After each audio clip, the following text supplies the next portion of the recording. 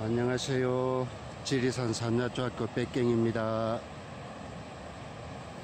이번 시간에는 산수국에 대해서 알아보겠습니다.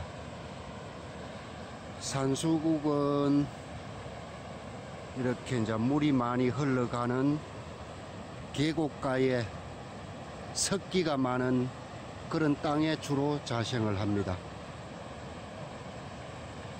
이제 원래 꽃은 요 가운데 조그만하게 볼품 없는 요게 이제 진짜 꽃이고 요 가에 크게 있는 이거는 가짜 흙꽃입니다. 어, 왜 그러냐면은 이제 이 자그마한 꽃을 꽃만 가지고는 어, 멀리서 벌나비가 보고 오기가 힘드니까 이제 벌나비를 유혹하기 위해서 이렇게 가짜 꽃을 만들어서 벌나비를 유혹합니다. 그 이제 이, 이 가짜 꽃은 색깔이 흰색이나 분홍, 파랑, 보라색으로 주로 피어납니다.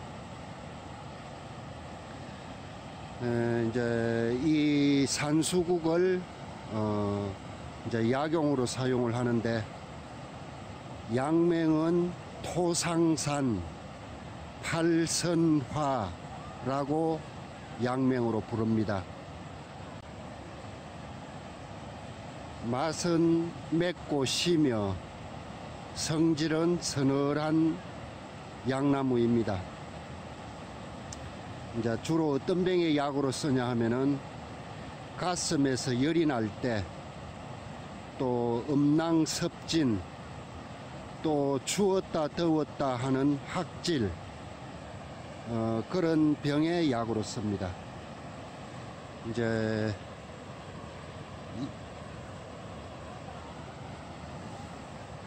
이렇게 잎에는 감미 성분인 필로둘신이라는 성분이 있습니다.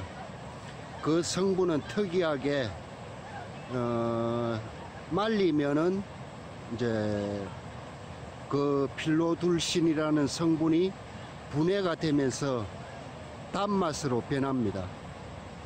그래서 이제 일본 같은 경우에는 어, 단맛이 나는 차라 해서 감차라고 부르고 어, 아침에 에, 스님들이 일어나서 부처님 전에 제일 먼저 그 공양하는 차가 감차입니다. 이제 감차는 이 잎을 잎을 따서 이제 쪄서 말리고 쪄서 말리고 아홉 번을 구정구포를 해서 이제 차를 만듭니다. 어, 그러면 이제 구강 청량제로도 사용을 할 수가 있고 또 심장병에도 약으로 사용을 하고 기침, 가슴이 두근거리는 정세에 약으로 사용을 할 수가 있는데 어, 1회에 2g에서 4g 사이를 어, 달여서 마시면 됩니다.